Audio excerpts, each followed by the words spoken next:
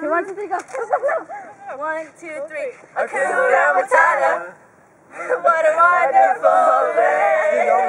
It means the worries for the rest of your day. It's a problem free. So